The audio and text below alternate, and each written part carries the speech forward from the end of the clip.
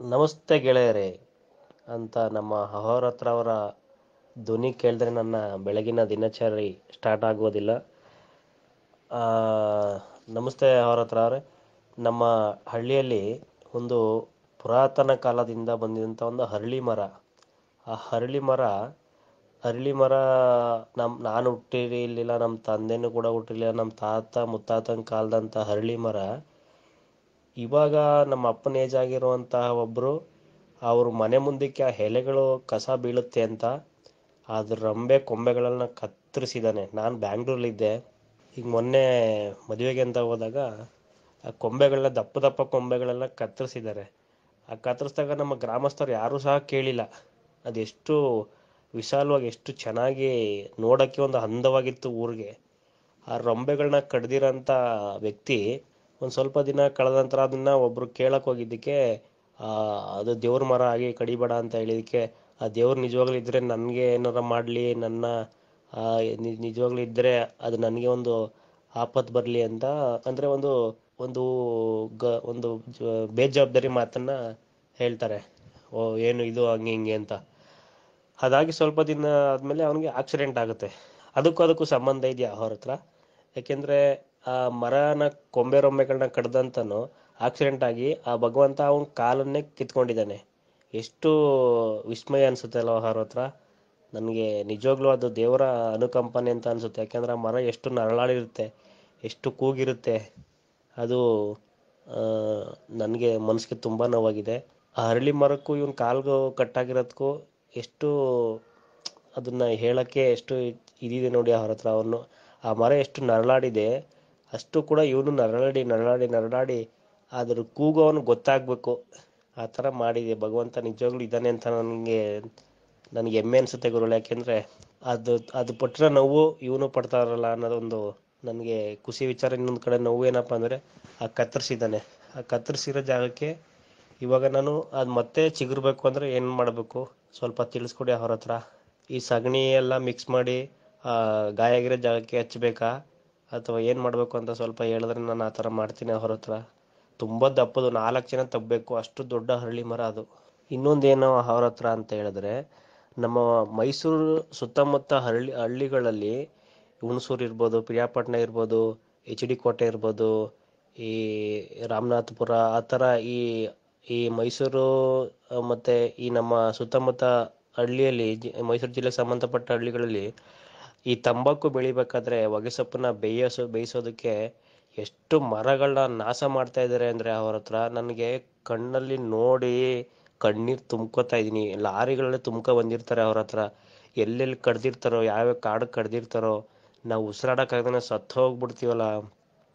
ಆ ಮರಗಳು ಎಷ್ಟು ನೋವು ತಿಂತವೆ ಅಂತೆಂಥ ಚಿಕ್ಕ ಚಿಕ್ಕ ಮರಗಳನ್ನೆಲ್ಲ ಪಾಪ ಇವರು ಹಣಕ್ಕೋಸ್ಕರ, ತಂಬಾಕು ಬೇಯಕ್ಕೋಸ್ಕರ ಇದೆಲ್ಲ ಪರಿಸರನ ಮಾ, ಈ ಥರ ನಾಶ ಮಾಡ್ತಾ ಇದ್ದಾರೆ ಅವ್ರ ಹತ್ರ ನಾನು ಏನು ಮಾಡಬೇಕು ಅಂತ ಗೊತ್ತಾಗ್ತಾ ಇಲ್ಲ. ನಿಮಗೆ ಕೆಲವು ವಿಡಿಯೋ ಮತ್ತು ಫೋಟೋಸ್ನ ಕಳಿಸ್ತೀನಿ ಅವ್ರ ಹತ್ರ. ನಾನು ಊರಿಗೆ ಹೋದ್ಮೇಲೆ ಬ್ಯಾಂಗ್ಳೂರಲ್ಲಿದ್ದೀನಿ ಇದ್ರ ಬಗ್ಗೆ ಸ್ವಲ್ಪ ನಾನು ನಾನು ಒಬ್ಬನೇ ಏನು ಮಾಡಬೇಕು ಅಂತ ನನಗೆ ಗೊತ್ತಾಗ್ತಿಲ್ಲ ಅವ್ರ ಹತ್ರ. ನೀವೆಲ್ಲ ನಿಮ್ಮದು ಆ ಗ್ರೂಪ್ಗೆ ನನಗೆ ಸೇರಿಸಿದ್ರೆ ಆ ಗ್ರೂಪ್ಗೆ ನಾನು ಆ್ಯಡ್ ಮಾಡಿ ಅವ್ರ ಹತ್ರ ನಾನು ಸ್ವಲ್ಪ ಇದೆಲ್ಲ ಫಾಲೋ ಮಾಡಿ ಅದನ್ನೆಲ್ಲ ಬ್ಯಾನ್ ಮಾಡ್ಸೋಕ್ಕೆ ಒಂದು ಇದು ಮಾಡ್ಬೇಕು ಅವ್ರ ಹತ್ರ. ನನಗೆ ಆಗ್ತಾಯಿಲ್ಲ ಅವ್ರ ಹತ್ರ. ಆ ತಂಬಾಕು ಬೇಯಿಸೋದಕ್ಕೆ ಕಾಪಿ ಬೂಸ ಅಂತ ಸಿಗುತ್ತೆ ಅವ್ರ ಹತ್ರ. ಕಾಪಿ ಬೂಸದಿಂದ ಬೇಕಾದ್ರೆ ಇವ್ರು ಬೇಳೆ ಇವ್ರು ಬೇಯಿಸ್ಕೊಳ್ಳಿ ಅವ್ರ ಹತ್ರ. ಆ ತಂಬಾಕು ಬೇಯೋಕ್ಕೋಸ್ಕರ ಇವ್ರ ಮರಗಳನ್ನೆಲ್ಲ ಎಷ್ಟು ಕಡಿತಾ ಇದ್ದಾರೆ ಒಂದು ವರ್ಷಕ್ಕೆ ಲಕ್ಷಾಂತರ ಲಾರಿಗಳು ಬರ್ತವೆ ಅವ್ರ ಹತ್ರ. ಲೈನಿಗೆ ನಿಂತಿರ್ತವೆ ನಮ್ಮ ಎಮ್ಮೆ ಕಪ್ಪಲ್ ಸರ್ಕಲಲ್ಲಿ ಹುಣಸೂರು, ಮೈಸೂರಿಂದ ಕುಶಾಲನಗರ ಪಿರಿಯಾಪಟ್ಟಣ ಹೋಗೋ ಹೈವೇ ರೋಡಲ್ಲಿ ಲೈನಕ್ಕೆ ನಿಂತಿರ್ತವೆ ಅವ್ರ ಹತ್ರ ಅಲ್ಲಿ. ಗೇಜ್ ತೂಕ ಹಾಕೋದಕ್ಕೆ ಅಂದ್ಬಿಟ್ಟು. ಮಧ್ಯ ಮಧ್ಯೆ ಡಿಸ್ಟರ್ಬ್ ಆಗ್ತದೆ ಅವ್ರ ಹತ್ರ. ಯಾಕೆಂದ್ರೆ ನನಗೆ ಇವಾಗ, ಅಂದರೆ ನಾನು ಎಲೆಕ್ಟ್ರಿಷಿಯನ್ ಅಲ್ವಾ, ಹಾಗಾಗಿ ಇಷ್ಟೊತ್ತಿನಲ್ಲಿ ಕಾಲ್ಗಳು ಬರ್ತದೆ ಅವ್ರ ಹತ್ರ.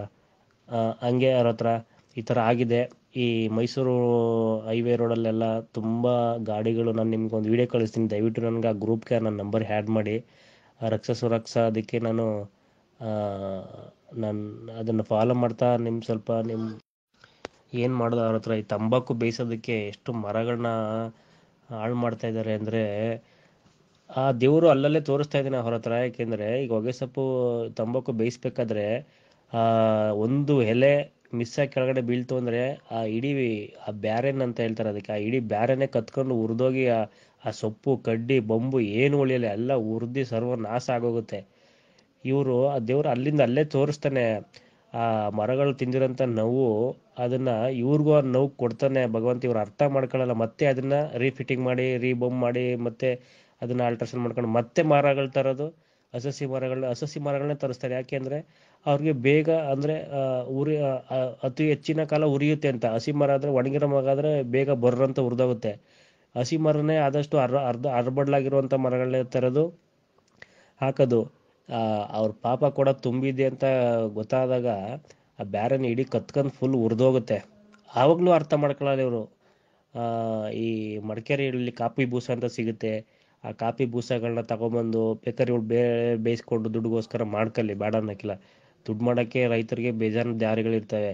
ಈ ತಂಬಾಕು ಬೇಯಿಸೋಕ್ಕೋಸ್ಕರ ಎಷ್ಟು ಮರಗಳು ಹಾಳಾಗ್ತಾ ಇದೆ ಅಂತಂದರೆ, ಅಬ್ಬೋ, ನಾನು ನಾನು ಕೆಲವು ವಿಡಿಯೋಗಳು ಕಳಿಸ್ತೀನಿ ಅವ್ರ ಹತ್ರ. ನೋಡಿದ್ರೆ ಕಣ್ಣಲ್ಲಿ ನೀರು ಬರುತ್ತೆ ನನಗೆ. ಯಾರ ಮೇಲೆ ಆ ದ್ವೇಷನ ನಾನು ತೀರಿಸ್ಕೋಬೇಕು ಅಂತಲೇ ಗೊತ್ತಾಗ್ತಿಲ್ಲ. ನನ್ನ ಕೈಲಿ ಏನು ಮಾಡ್ಬೋದು ಅಂತ ಹೇಳಿ ಅವ್ರ ಹತ್ರ. ನಾನು ಎಲ್ಲೋ ಕಂಪ್ಲೇಂಟ್ ಮಾಡಬೇಕು ಅಂತ ಹೇಳಿ ಅವ್ರ ಹತ್ರ. ತುಂಬ ನೋವಾಗುತ್ತೆ ಮನಸ್ಸಿಗೆ ಅವ್ರ ಹತ್ರ. ಆ ಹರಳಿ ಮರದ ವಿಚಾರ ಈಗ ತ್ರೀ ಫೋರ್ ಡೇಸಲ್ಲಿ ನಡೆದಿರೋದು ಅವ್ರ ಹತ್ರ. ಅವ್ರು ಇನ್ನೂ ಹಾಸ್ಪಿಟ್ಲಲ್ಲಿ ಇದ್ದಾರೆ ತಕ್ಕ ಪಾಠ ಕಲಿಸಿದ್ದಾನೆ ಭಗವಂತ. ಕೈ ಎತ್ತಿ ಮುಗಿಬೇಕು ಆ ಶಿವಪರಮಾತ್ಮನಿಗೆ. ಅಂಥವ್ರಿಗೆಲ್ಲ ಅಲ್ಲೇ ತೋರಿಸ್ಬಿಡ್ಬೇಕು, ನರಳಬೇಕು. ಆ ಮರ ಅದೆಷ್ಟು ನರ, ಅವ್ರು ಅನ್ಕೊಂಡಿರ್ತಾರೆ ಅದರಿಂದ ಅಲ್ಲ ಅಂತ. ಬಟ್ ನಮಗೆ ಗೊತ್ತು ಅದರಿಂದನೇ ಅಂತ. ನಿಮ್ಮ ಮೂಲಕ ನನಗೆ ಗೊತ್ತಾಗಿದೆ. ನಾನು ಹರಳಿ ಮರಕ್ಕೆ ಏನು ಮಾಡಬೇಕು ಅಂತ ಹೇಳಿ ಅವ್ರ ಹತ್ರ ಪ್ಲೀಸ್. ಅದಕ್ಕೆ ಏನು ಮಾಡಿದ್ರೆ ಅದ್ರ ನೋವು, ಅದು, ಅದರ, ಅದ್ರ ನೋವನ್ನ ನಾವು ಅದು ಕಮ್ಮಿ ಮಾಡೋಕ್ಕಲ್ಲ ಬಟ್ ತಕ್ಕ ಮಟ್ಟಿಗೆ ಏನೋ ಒಂದು ಸ್ವಲ್ಪ ಏನಾರ ಮಾಡ್ಬೋದಾ? ಅದ್ರನ್ನ ಗಾಯನ ವಾಸಿ ಮಾಡೋದಕ್ಕೆ. ನಿಮ್ಗೆ ಯಾವಾಗ ಟೈಮ್ ಸಿಕ್ಕಿದಾಗ, ಯಾವ ನೀನಲ್ಲೇ ಕತ್ತೆ ಬಡವ ರಾಸ್ಕಲ್, ಎಷ್ಟೋ ಮೆಸೇಜ್ ಮಾಡ್ತೀಯ? ನಾನು ಆನ್ಲೈನ್ ಇದ್ದೀನಿ ಅಂತ ಅಂದ ಕಾರಣಕ್ಕೆ ನಾನು ಫ್ರೀ ಆಗಿದ್ದೀನಿ ಅಂತಲ್ಲ ಬೇರೆ ಏನೋ ಕೆಲಸ ಮಾಡ್ತಿದ್ದೀನಿ ಅಂತ. ಆನ್ಲೈನ್ ಇದ್ದೀನಿ ಅಂತ ಎಷ್ಟೋ ವಾಯ್ಸ್ ಮೆಸೇಜ್ ಕಳಿಸ್ತೀಯ ನೀನು, ಲೈ, ಕತ್ತೆ ತಂದು ನಿನ್ನ ಇಡೋ ಫೋನ್ನ ಕಟ್ ಮಾಡೋ ಮೆಸೇಜ್ನ ಸ್ಟಾಪ್ ಮಾಡೋ. ಯಾವನ ನೀನು, ಲೇ, ನಾನು ಯಾಕೋ ಪ್ರಾಣ ಹಿಂಡ್ತಾ ಇದೆ ಈ ಥರ ಮೆಸೇಜ್ ಮಾಡಿ? ಬಡವ ರಾಸ್ಕಲ್, ಅಂತ ಒಂದ್ಸಲ ಯಾವಾಗಾರ ಫ್ರೀ ಇದ್ದಾಗ ಬೈರಿ, ಅವ್ರ ಹತ್ರ ನನಗೆ. ಸಾರಿ ಅವ್ರ ಹತ್ರ ವೀಡಿಯೋಗಳು ಕಳಿಸ್ತಾ ಇದ್ದೀನಿ ಅಂತ ಬೇಜಾರು ಮಾಡ್ಕೋಬೇಡಿ. ನಿಮ್ಮನ್ನ ಫಾಲೋ ಮಾಡೋಕೆ ಸ್ಟಾರ್ಟ್ ಮಾಡ್ದಲ್ಲಿಂದ ಅವ್ರ ಹತ್ರ ನಮ್ಮ ಅಪ್ಪ ಅಮ್ಮನ ಎಷ್ಟು ಖುಷಿಯಾಗಿ ನೋಡ್ಕೊತಾ ಇದ್ದೀನಿ ಅಂದ್ರೆ ನಾನು ಅಂದರೆ ಫಸ್ಟ್ ಟೈಮ್ ನಮ್ಮ ಅಪ್ಪ ಅಮ್ಮಂಗೆ ಬಟ್ಟೆ ಕೊಡಿಸಿದ್ದು ನಾನು ಬೆಂಗಳೂರಿಗೆ ಬಂದು ಅವರು ನಮ್ಮ ಅಣ್ಣನ ಕಳ್ಕೊಂಡಿರೋ ನೋವಲ್ಲಿ, ಆ ನೋವನ್ನ ಅವ್ರಿಗೆ ಗೊತ್ತಾಗಬಾರ್ದು ಅನ್ನೋ ಒಂದು ಇದರಿಂದ ನಾನು ಕೇಳಿದೆಲ್ಲ ಕೊಡಿಸ್ತಾ ಇದ್ದೀನಿ. ಒಡವೆಗಳಾಗಿರ್ಬೋದು ಅಥವಾ ಅಪ್ಪ ಅಮ್ಮಂಗೆ ಬಟ್ಟೆ ಆಗಿರ್ಬೋದು.